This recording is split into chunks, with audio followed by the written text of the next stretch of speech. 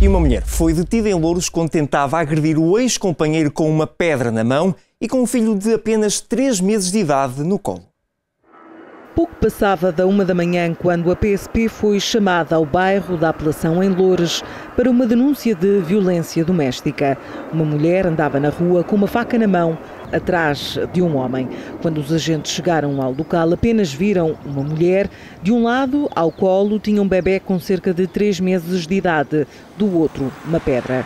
Na presença dos polícias, a suspeita continuava a tentar atingir o homem enquanto o ameaçava de morte.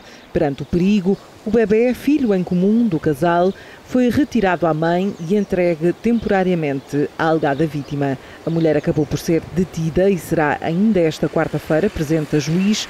Segundo o homem de 38 anos, momentos antes do episódio, a ex-companheira terá aparecido em casa da vítima com uma faca de cozinha e danificou os estores. Arma branca que acabou por ser localizada no chão pela PSP.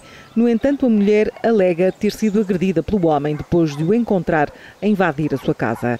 Ao que a Record TV apurou, junto de fonte policial, o casal está separado, mas tem outros processos de violência doméstica nos últimos dois anos, com registro de agressões mútuas.